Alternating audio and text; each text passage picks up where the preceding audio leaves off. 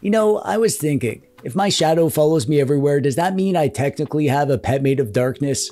Also, I was thinking the best part about PC gaming is the flexibility. You can do all the tweaking and twerking of the hardware and the game settings to get them looking good and running how you like them. And the operating system. You can go with boring but practical Windows, or you can go with Linux, either one of the 78,000 flavors of desktop Linux, or a SteamOS Linux like Bazzite. Speaking of which, Bazzite is amazing. I made a video where I installed it on a mini PC, which basically turned it into a Steam game console. And at the end of that video, I said, at one point, I kissed it, just once, for science. And then I also said, you know, now that I've done this experiment, I'm kind of left wondering why anyone would game on Windows, since SteamOS works so well. And it kind of felt like the games actually ran better, which was a confusing feeling, and I pushed it deep down with my other confusing feelings. You know, where it could fester. And now it's come to the surface once again, and it's haunting me. I can't concentrate. I can't sleep. I need to know once and for all. Do games run better on SteamOS compared to Windows? Do we get performance gains? And if so, how much? And is it worth making the switch? And if it is, then should we just do that by default? And if not, then why? The answer to all those questions is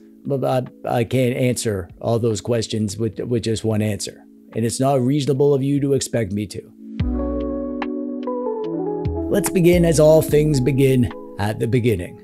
Why would you want to install SteamOS on a computer? I mean, uh, computers usually have Windows on them, so why bother installing something that's not Windows to do things that Windows can do? And my answer to that is threefold. One, don't tell me what to do, you're not my mother. Two, Windows is a bloated mess with tons of extra software and services pre-installed and running in the background that have nothing to do with games, which might be causing the games to actually run worse, and we're going to talk about that. And three, SteamOS is freaking awesome. That's one of the main reasons everyone loves the Steam Deck so much. Bazzite is the flavor of SteamOS that we're using today. It's a gaming-first operating system that makes your computer feel like a gaming console, with a built-in desktop mode if you want to use it like a computer. It's a double whammy. Our test subject today is this mini PC. It's the GMKtec K11. This thing is a super cool little gaming focused mini PC. You can tell it's for gaming because it has RGB lights on there. This thing is rocking the Ryzen 9 8945HS APU with an integrated Radeon 780M GPU. We get 32 gigabytes of DDR5 RAM clocked at 5600 megathings per second, 1 terabyte of NVMe internal storage, and we get Wi-Fi 6, dual 2.5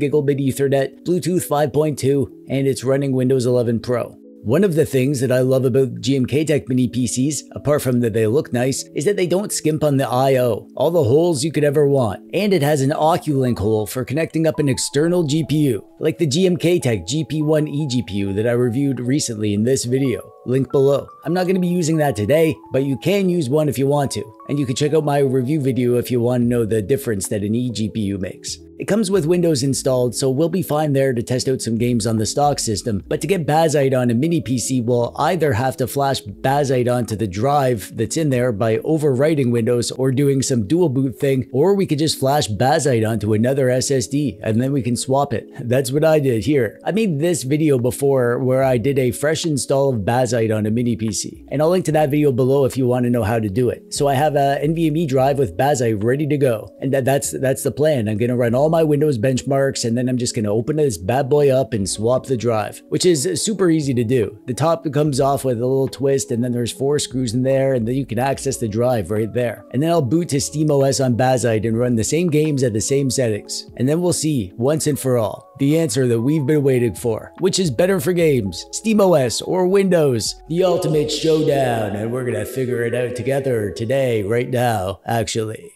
starting with Shadow of the Tomb Raider on Windows. Here I am at 1080p with the high settings, no resolution scale, and this is running really good, getting between 30 and 40 FPS most of the time. And we got 38 FPS average. And th there aren't many areas of slowdown and no big frame dips or inconsistency. But even still, it needs to be said, you're, you're not going to get desktop level gaming performance from a mini PC. So some games will run great at higher settings, but on some you'll definitely need to take take down the settings and make some sacrifices. Moving over to Bazzite, and this is the same settings, same resolution, but it's running better. Here we're getting between 38 and 45 FPS with an average of 42 FPS, which is promising for, for this video. Because it would have been a boring video if they were if they were the same. But there is a difference. Not a huge difference in Shadow of the Tomb Raider, just 4 FPS difference, but it's enough that you can actually feel it. The game feels a little bit smoother, which is something. Shadow of the Tomb Raider is better on SteamOS by, by just a bit, but maybe some games will be more drastically different. We'll see about that.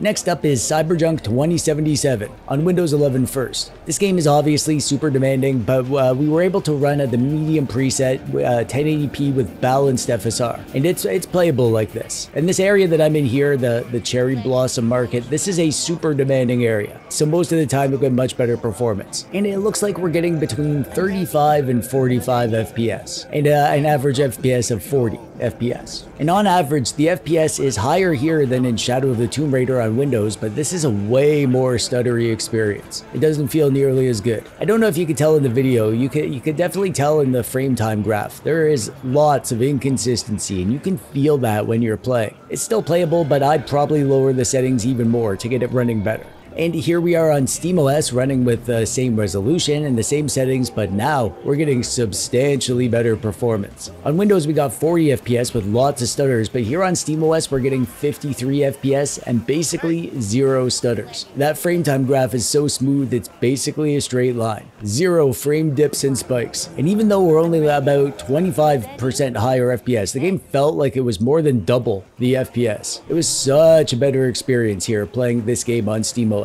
Like, sort of okay and barely playable on Windows to super smooth and genuinely enjoyable on SteamOS. And that's what it really comes down to, how much how enjoyable it is to play. And now we have this lovely game, this fun, lighthearted, chill, cozy game that you play to unwind. It's Doom Eternal.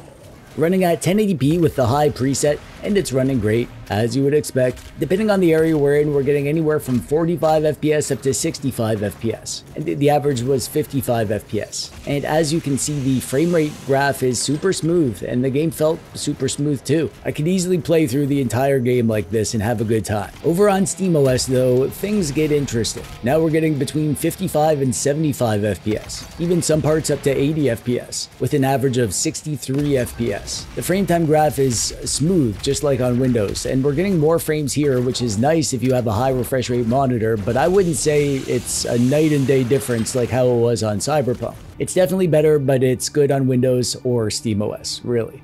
Here we are in Assassin's Creed Shadows. 1080p, ray tracing set to high note only, medium preset, and performance FSR, and the frame rate isn't great, getting around 28 FPS on average. It's not terrible. I'd actually say this is playable, and if you wanted to play, you could play it, and the, the game does look good like this. You can use FrameGen to get this up to about 45 FPS, and it still works good. It looks pretty good, but I didn't want to use FrameGen here because we're testing raw performance. And on Windows, it's just barely playable. Some slight up and down in the frame time graph, not super smooth or anything, but a little bit stuttery, but you could play it. And uh, we could still go down to the low settings and end up with better performance too. On SteamOS, this was a little bit of a problem. The options menu had different settings. No detail settings here for some reason. And I'm pretty sure this is set on the high settings because uh, I could tell it looked better. But the rest of the settings, I tweaked what I could to make it match with FSR off and no frame gen. And that, that said, even though the game looks better because we're probably on higher settings, even still, we got better performance here. We got 31 FPS on average compared to 28 before. But the look at the frame time graph. It's like perfectly flat. This felt way smoother on SteamOS compared to Windows. There's no question, Windows is doing something in the background that is causing performance issues, and we don't have to deal with that on SteamOS. Let's finish off with one of my favorite games, The Witcher 3. This is 1080p with balanced FSR, medium settings. In Windows, the game is running pretty good and it looks freaking awesome. I got 39 FPS on average like this. A little bit of up and down in the frame time graph and the game didn't feel perfectly smooth. You could tell there was a bit of inconsistency, especially when you panned the camera. But uh, yeah, you can still play like this and have a good time. Over on SteamOS though, it's a pretty drastic difference. Same settings, but now I'm getting 56 FPS on average, which is a huge bump up from Windows, and the game feels so buttery smooth here. As you can see, the frame time graph is basically flat, Compared to Windows, this is a heck ton smoother and way more enjoyable, especially in the action sequences. That's where I feel the frame rate dips the most, and I'd much rather play this on SteamOS than on Windows. So where does all this leave us, you ask? Well, what's that? You didn't ask that? Well, too bad. That's what we're going to talk about anyway. So shut up, click the subscribe button, and let me tell you this whole Windows versus SteamOS thing. I think it should be obvious by now that there is something about Windows that is impacting performance. Windows 11 comes with a ton of stuff installed, a ton of bloat, not just a ton of apps and programs that you don't want or need, but also background processes. It's always trying to do stuff even when you're playing a game. And here I actually went through and disabled everything that I could. I did all the updates and turned off virus scanning. I installed OneDrive and Teams and all that bullcrap, disabled Copilot, and even still, Windows was just by its very nature preventing the games from accessing all the PC's resources to run as well as they could. SteamOS didn't have that problem, I think because it's built to be a lightweight operating system without anything extra running while you're gaming. Bazzite in particular is so well optimized for this sort of low power system, and uh, it also has a desktop mode if you want to use it as a computer, but even the desktop mode is lightweight and efficient. And it's even more impressive if you consider that Linux uses a compatibility layer to handle some Windows APIs like DirectX or whatever, and that has a performance impact. And even still, SteamOS came out on top. And the thing that impacted the game experience the most wasn't the frame rate, but it was the frame time ups and downs. That inconsistent performance in Windows just made the, the games